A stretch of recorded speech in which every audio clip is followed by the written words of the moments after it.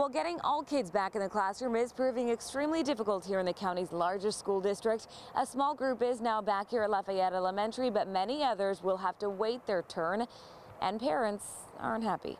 Get our kids back in school! San Diego Unified parents lining up in protest over the district's decision to spread out in-person learning. We want a phase two. We want to hear more about what's coming next for all students, not just for a particular few. Leslie Hoffmeister was front and center, the co-founder of Reopen SDUSD.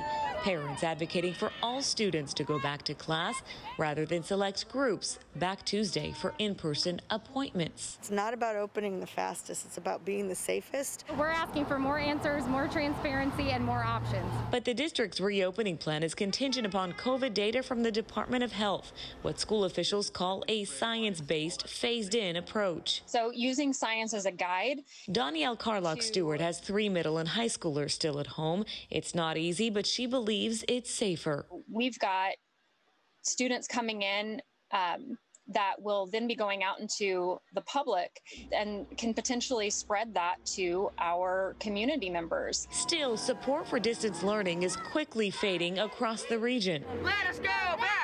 In Carlsbad, more chance for normalcy. There are plenty of schools in our district, in nearby districts, with their schools open. The district recently pushed back the start of in-person learning for middle and high school to January of next year, while welcoming back preschool, elementary, and students with special education needs.